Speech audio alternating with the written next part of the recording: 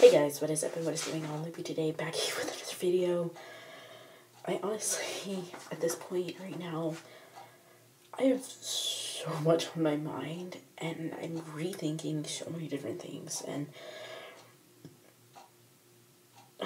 just hearing something um, that my doctor told me and stuff like that has just kind of has me rethinking a lot of different things that I normally probably honestly wouldn't think about and it's hard to like wrap my head around it and stuff like that and I was telling my mom and she's like you're honestly probably overthinking which honestly I probably am.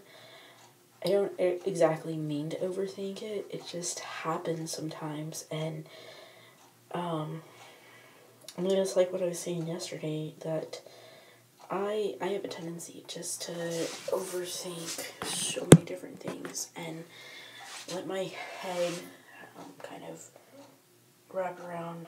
Um, oh, my shirt. Um, make my head wrap too much around certain things and not exactly letting them kind of um, work out for themselves, I guess, and just, yeah. Um, pretty much, I've, honestly, that's all I've been thinking about today, and it is a little bit frustrating, and trying not to think about it, it makes it even worse, because that's, that's honestly what, what I have a tendency to do, and, um, kind of sucks um, because of it. And I know that so many people kind of go through it and stuff like that, and going to get like tests, um, tests who kind of like just to see exactly what's going on. That's going to be the hard part.